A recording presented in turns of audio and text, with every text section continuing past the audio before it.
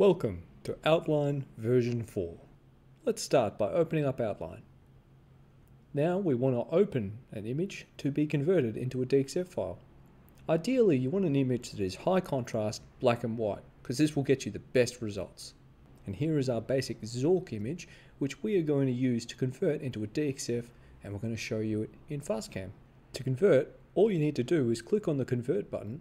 You might have to give it a second for all the conversion to be done, and then once you're done with that, just click save. Then you can save it as a DXF file, and here you can see that Zork file as seen in FastCam 8. And here are just some other images that have been converted using Outline. You can see this one is a complex image, but it's got a high contrast, so it converts very well. And here you can see the image on the left is a bit dirty, but converts perfectly using Outline 4. And finally for the examples, here's a really complex, thick line image that's converted easily using Outline. Now let's show you what a couple of the options inside Outline do for you. You can access your options from the Options button on the main ribbon. We're going to start by showing you what the corner value does when you change it. Here's the default with a corner value of 1. And here you can see with a corner value of 0.2, there is a lot less rounding on those corners.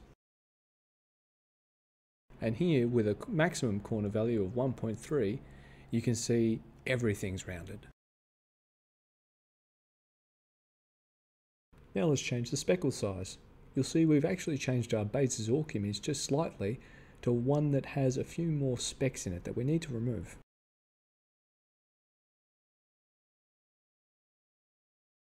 Now if we increase the speckle size up to 10, you'll see quite a few of the speckles are removed. There's still one left over however. So we change the speckle size up to 20 pixels and you'll see all the specks are gone. Now we'll show you curve optimization and curve tolerance. To use curve tolerance, you need to tick on curve optimization. With a lower curve tolerance, you'll see you get more entities in your output. This is because it's trying to fit the lines as closely as possible to the original drawing's shape.